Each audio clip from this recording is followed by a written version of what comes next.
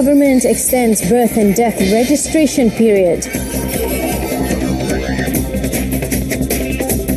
COVID 19 recoveries reach almost 60%.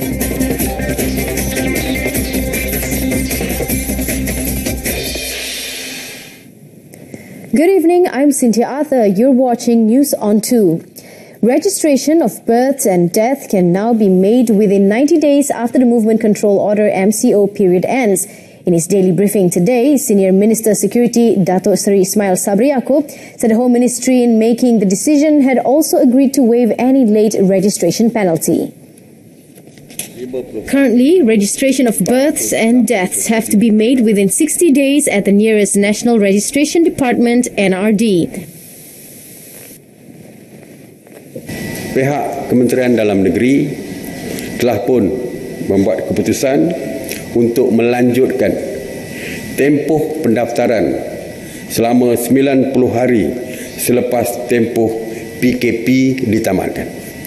The senior minister also said that those who needed to replace their lost My cards can do so by getting an appointment with their respective NRD branches. However, it is only allowed for those with emergency or urgent cases. Saya bersetuju supaya mereka boleh uh, menghubungi pejabat pendaftaran negara di daerah masing-masing untuk menggantikan kad kebenaran itu iaitu dengan cara berjumpa dengan pegawai uh, pendaftaran negara melalui temu janji dan sebagainya. Jadi mereka boleh buat appointment kalau ada timbul kes kecemasan. Yang lain-lain tidak perlu bimbang. Kalau tidak ada kes keperluan segera untuk menukar kad pengenalan masing-masing, boleh tunggu 90 dalam tempoh 90 hari selepas PKP ditamatkan. On another note, Dato Sri Ismail Sabri said automated teller machines, ATM, will no longer be open for 24 hours. He said this was necessary as many people were still going out late at night using the excuse that they wanted to withdraw money from 24-hour ATMs. Apabila mesin ATM beroperasi, maka ramai yang memberikan alasan untuk mengeluarkan wang kerana mesin ATM beroperasi 24 jam. Jadi ramai yang keluar lebih daripada waktu yang ditetapkan sehingga tengah malam pun masih ada yang keluar kononnya ada emergency untuk mengeluarkan wang dan sebagainya. Dan hari ini mesyuarat telah membuat keputusan bahawa operasi mesin ATM adalah dihadkan daripada pukul 8 pagi sehingga pukul 8 malam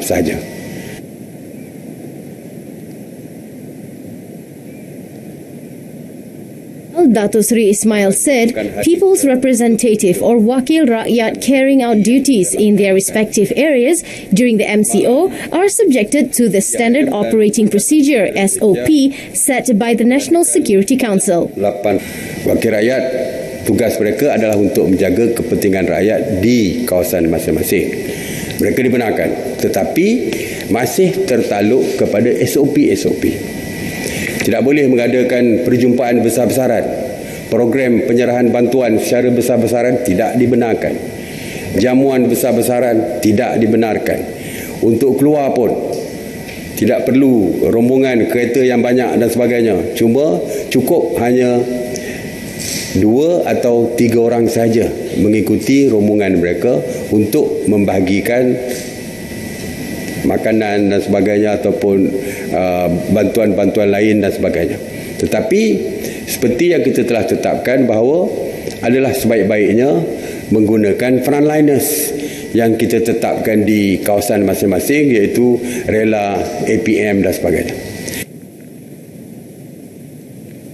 Dato Sri Ismail Sabri also noted today that the government's move to quarantine all returning Malaysians from overseas was the right decision as 17 of them had tested positive for COVID-19. He said the move, which was unpopular when announced during phase two of the MCO from the 1st to 14th of April, is now a lifesaver as many other countries did not adopt the same policy, which resulted in catastrophic results.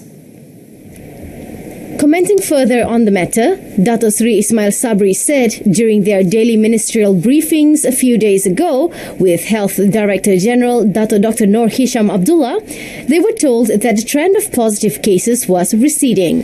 Kita memang melihat bahawa di setengah-setengah negara rakyat mereka yang pulang dari luar negara tidak dikuarantin, membuat self quarantine dan sebagainya, akhirnya menyebabkan berlaku uh, kenaikan mendadak kes positif COVID-19. Kita faham ramai yang agak kurang senang dengan kuarantin wajib yang kita perkenalkan ini. Namun daripada laporan yang kita terima daripada Kementerian Kesihatan kita dapati terdapat 17 kes positif COVID-19 di kalangan rakyat kita yang pulang daripada luar negara. Cuba kita bayangkan. Kalau kita bebaskan mereka untuk pulang ke rumah.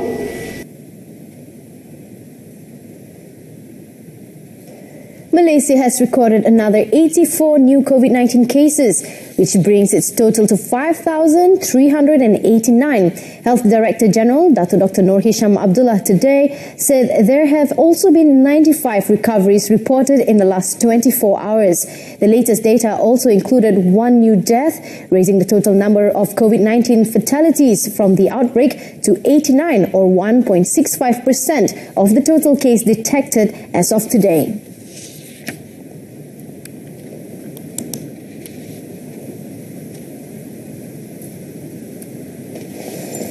Dr. Dr. Noor Hisham also said that the total number of patients who have made a full recovery from COVID-19 now stands at 3,197. Kes yang telah pulih dan dibenarkan discharge pada hari ini. Ini menjadikan jumlah kumulatif kes yang telah pulih sepenuhnya daripada jangkitan COVID-19 dan telah discharge pada ward adalah sebanyak 3,197 kes iaitu bersamaan dengan 59.3% daripada jumlah keseluruhan kes. Duka cita dimaklumkan bahawa terdapat pertambahan satu kes kematian berkaitan dengan COVID-19. Justru jumlah kumulatif kes kematian COVID-19 di Malaysia adalah sebanyak 89 kes iaitu bersamaan dengan 1.65% daripada jumlah keseluruhan kes. Up to now, he said there are 2,103 active COVID 19 cases in the country, where 46 cases are being treated in the intensive care unit ICU. From that amount, 26 cases require the use of ventilators. Dr. Noor Hisham also said that another COVID 19 cluster was discovered in the Kuala Lumpur International Airport. He said the cluster consists of 43 students who returned from Indonesia on the 16th of April. Sebuah kluster baru telah dikesan di pintu masuk antarabangsa iaitu di mana kes positif dikesan di kalangan rakyat Malaysia yang pulang daripada Indonesia melalui lampakan terbang Kuala Lumpur pada 16 April 2020. Kluster ini terdiri daripada 43 orang pelajar yang pulang dari Temboro iaitu salah satu tempat yang telah diistiharkan sebagai zon merah di daerah Magetan, Indonesia. Dr. Dr. Noor Hisham said 34 of the students were quarantined in Malacca and 9 were quarantined in Kuala Lumpur. The Malaysian embassy Malawakil in Lima, Peru has sent back 26 Malaysians who were stranded in Peru and Bolivia yesterday.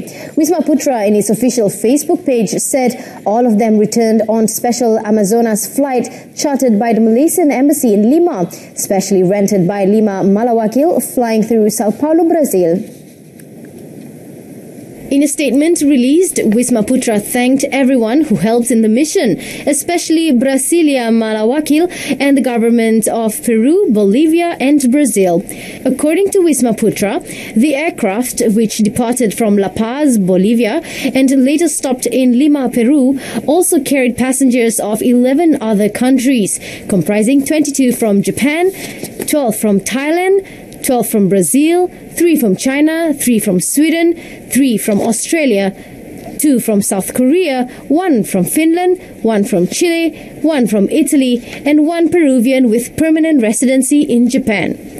In an earlier posting on Facebook, Wisma Putra also said 179 Malaysians who were stranded overseas, comprising 82 in Colombo, Sri Lanka, and 97 in Chennai, India, were brought home by Malindo Air aircraft yesterday.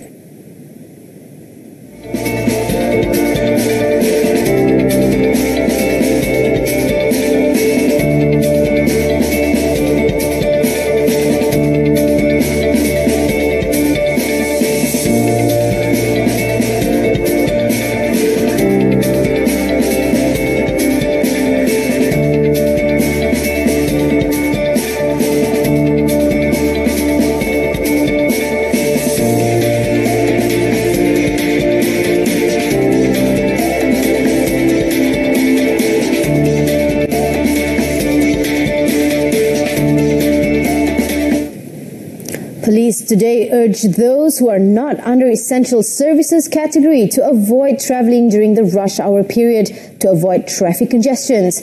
Bukit Aman Traffic Investigation and Enforcement Department Director DCP Dato Azizman Alias said the recent loosening of the Movement Control Order MCO on certain economic sectors in stages has been a marked increase in vehicles on the road. Elaborating further on the matter, Dato Azizman said the congestion occur in the morning from 7 a.m. to 10 a.m., sometimes even up to 12 p.m., while the evening is also similar from 5 p.m. to 7 p.m.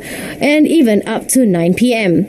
Although most of these individuals on the roads during the rush hour period are in compliance with existing regulation, including only one person per vehicle, Dato Azizman said they were mostly traveling for non-essential reasons. He added that his department has since identified a number of roadblock locations that can potentially become congested, including six in Kuala Lumpur, five in Selangor, and four in Malacca.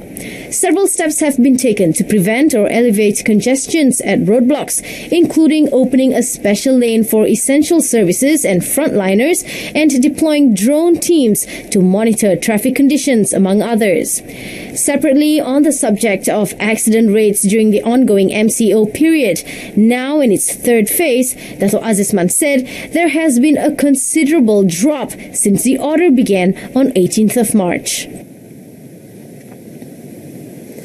A total of 95 people have been arrested for violating the Movement Control Order MCO on Saturday. Johor Police Chief Dato Ayob Khan Mydin Pitchay said this brings the total number of people who have been arrested to 2,340 people since the MCO started on the 18th of March. In a statement released today, Dato Ayob Khan said the cases are being investigated under Section 186 of the Penal Code for obstructing a public servant from discharging duties, which provides for imprisonment of up to two years or a maximum fine of 10,000 ringgit or both if found guilty. He also said that those arrested will also face charges under Section 22, subsection B of the Prevention and Control of Infectious Diseases 1998 and Rule 3 of the Prevention and Control of Infectious Diseases PCID measures within infected local areas regulations 2020. The detainees were also being investigated under Section 270 of the Penal Code for conducting malignant act likely to spread infection of disease dangerous to life and Rule 11 of the PCID measures within infected local areas regulations 2020. The Johor Police Chief further expressed hope that the public would be cooperative and remain at home to ensure the spread of the virus can be curbed. For further information, the public can contact the Johor Police at 07 or any nearby police station. The Johor State Health Department has conducted a total of 11,726 COVID-19 screening tests in five red zone districts as of yesterday. Johor State Exco R. Vidyananthan said this involved the districts of Johor Bahru, Batu Pahat, Kluang, Muar and Kulai. R. Vidyananthan said of the tests conducted, 558 of them tested positive, where 326 have recovered with 11 death cases. Meanwhile, he said that about 920 public disinfection operations had been conducted in 391 government buildings, 100 houses of worship, 201 public locations, and 228 other premises. He added that the government is imposing stricter regulations on immigration applications, especially those traveling from Singapore. He said those with working permit and RT-PCR negative COVID-19 swab test verification letter are allowed to return home. They are also provided with health warning cards, home assessment tools, Section 15 instruction notice, as well as the D13 rapid test kit. For those who are not working but holding long-term Singaporean passes, R. Vidyananthan said they will be sent to health screening centres in Madrasah Johor Bahru for further action. Perak Education, Human Capital, non-governmental organizations, NGOs and civil society committee chairman Razman Zakaria today made a public apology for his involvement in a gathering as shown in a photo that went viral on social media. Yesterday, the photo of Razman, who is Gunung Semanggol assemblyman and other individuals together with the deputy minister at a fest held at Ama'ad Tahfiz in Lenggong was circulated on social media media platforms. Their actions were criticized by netizens for violating the movement control order enforced by the government to curb the spread of the deadly COVID-19 virus. Razman in a Facebook posting said, while discharging his responsibilities by going down to the ground to look at people's needs, he had always observed the standard operating procedures. He said he is on the move every day to help the frontliners and also to look at any shortages of equipment they might be facing particularly the healthcare workers. He also said if they did not go down to the field, they would not know if there are any urgent need for mobile toilets for those conducting roadblocks, for example. Water supply in seven regions, which has been disrupted since last Friday following the pollution of raw water source in Sungai Selangor, has been fully restored today. Air Selangor Sdn Berhad, Air Selangor Corporate Communications Head Abdul Halim Matsom said the company appreciated the cooperation the consumers gave to its staff during the restoration works. In a statement released today, Abdul Halim reminded the people to use water wisely during the movement control order period. Last Friday, seven regions experienced disruption in water supply, namely Hulu Selangor, Kuala Selangor, Kuala Lumpur, Gombak, Petaling, Klang, Shah Alam, and Kuala Langat. The Air Selangor Corporate Communications added that consumers are urged to download the smartphone application Air Selangor on Google Play or Apps Store to get information on water supply. They can also refer to Air Selangor's Facebook, Twitter, and Instagram accounts or its website www.airselangor.com. That concludes news on 2. In our top story, government extends birth and death registration period. Join us for updates at noon at 12.30 tomorrow. Don't forget to wash your hands regularly, practice social distancing, and most of all, let's adhere to the movement control order and just stay at home. I'm Cynthia Arthur. Thank you for watching.